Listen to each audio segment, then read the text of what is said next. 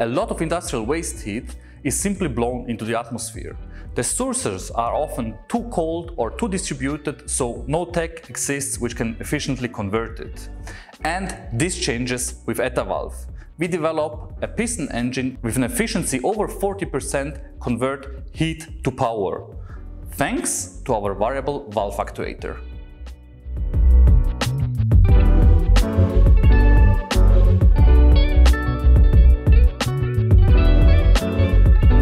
My name is Wolfgang Schneider. I'm CTO of etavalve.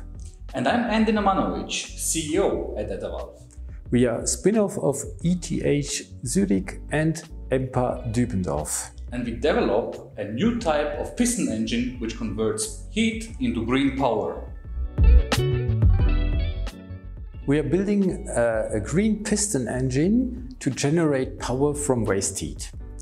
And in this engine, our valve actuator will be the core part.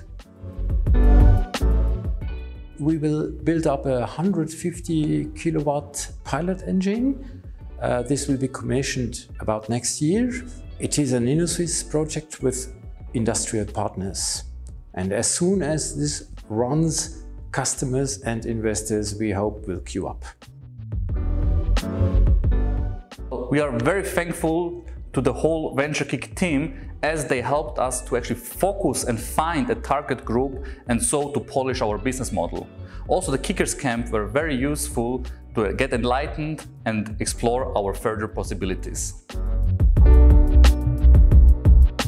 In the future, waste heat uh, should be an issue of the past. So we will try to push and contribute uh, with our technology.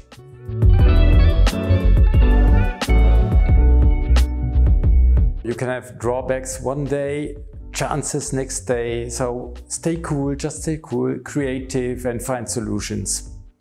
Well, it's your business you're running, so trust your instincts, get inspired by others, but never follow a predefined recipe blindly.